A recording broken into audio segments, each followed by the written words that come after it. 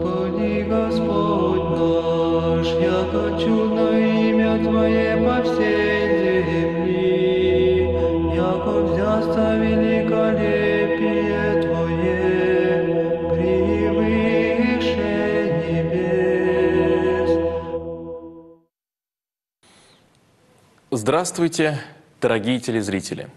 Сегодня пятница, 25 января, и Церковь предлагает нам к нашему назиданию и для нашего внимательного рассмотрения отрывок из послания апостола Павла к евреям. Глава 11, стихи 8 и с 11 по 16. И вот как звучит этот отрывок в русском синодальном переводе. «Верою Авраам повиновался призванию идти в страну, которую имел получить в наследие – и пошел, не зная, куда идет.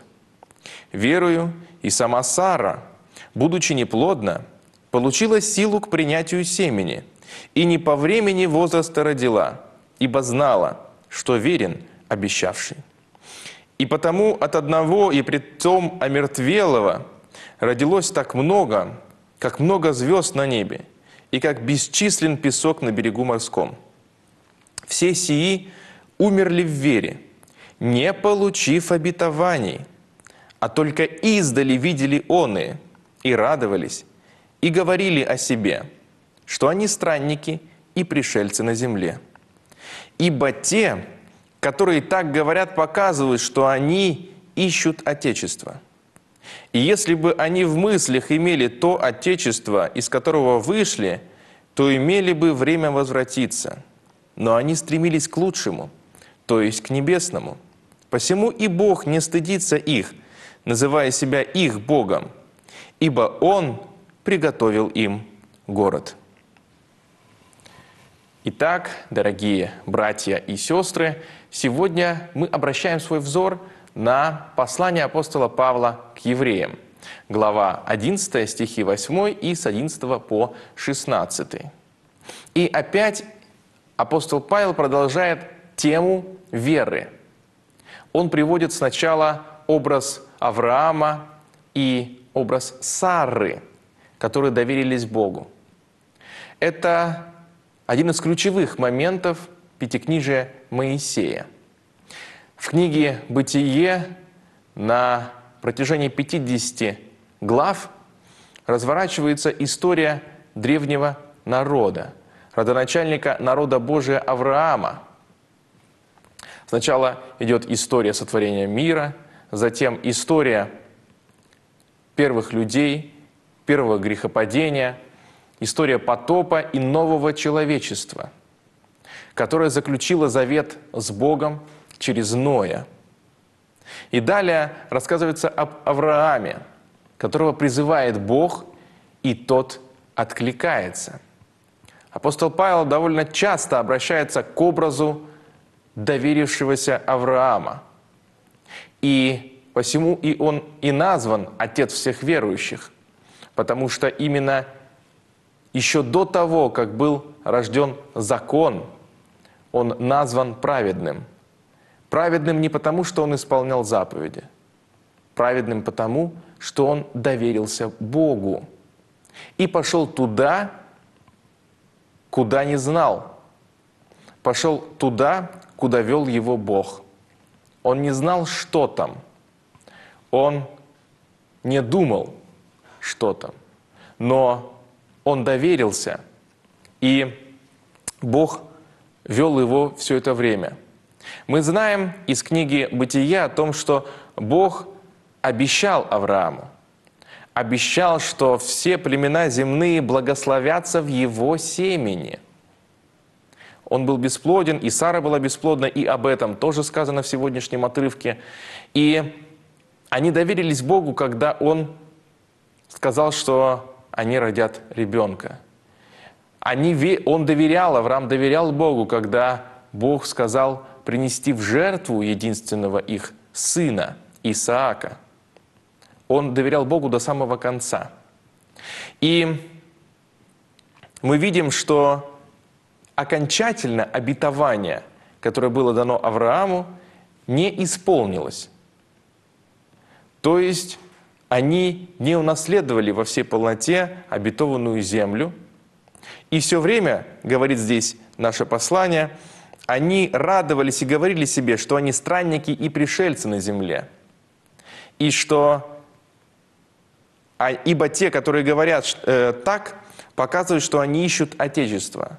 Но они искали Отечество не своего, ибо Отечество Авраама – это город Ур халдейский, а, откуда он и отправился в свое путешествие. Это территория современного Ирака, современной Месопотамии, территория современной Сирии и Ирака. И он отправляется оттуда. Но даже когда он приходит в землю обетованную, он еще не наследник ее. И он умирает с этой надеждой.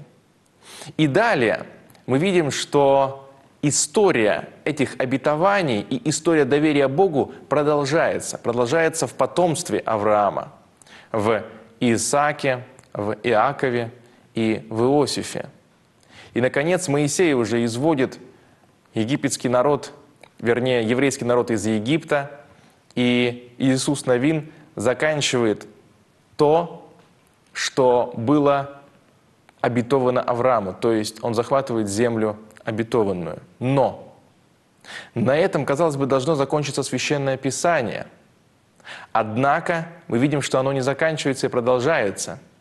Значит, пророчество и то обетование, которое было дано Аврааму, оно имело двойной характер, пророчество так называемое двойного исполнения.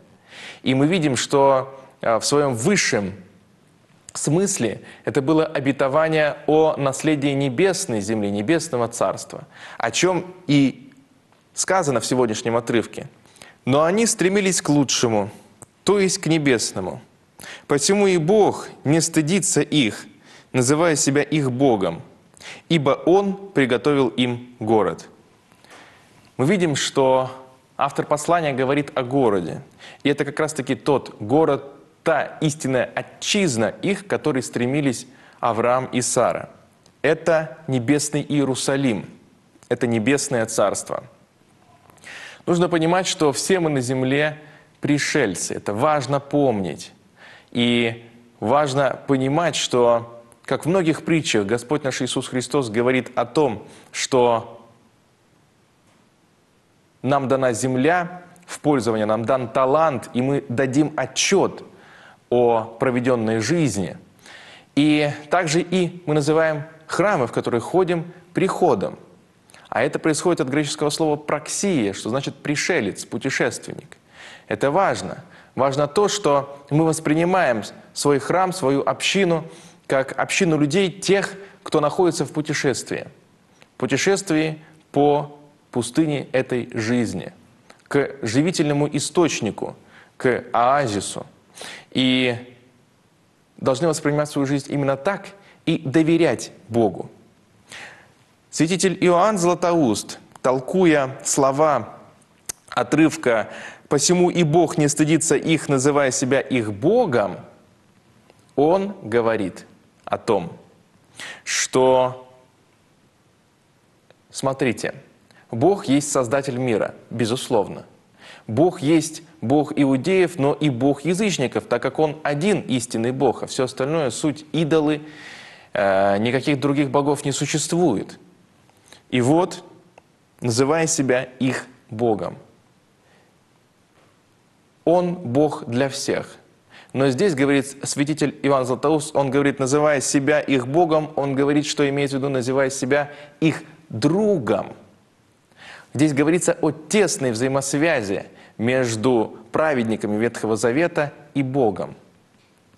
Дорогие братья и сестры, мы должны вдохновляться праведностью Ветхого Завета, помня о том, что не всегда то, что мы просим, будет исполняться.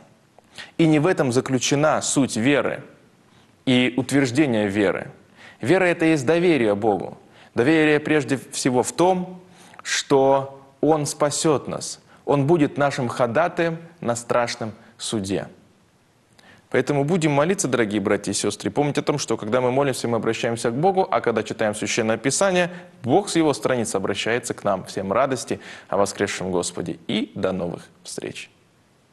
Господи, Господь наш, я хочу на имя Твое по всей